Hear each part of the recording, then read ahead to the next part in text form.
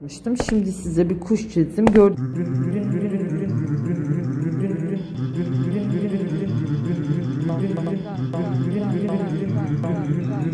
Buna balık atmıştım. Şimdi size bir kuş çizdim. Gördüğünüz gibi.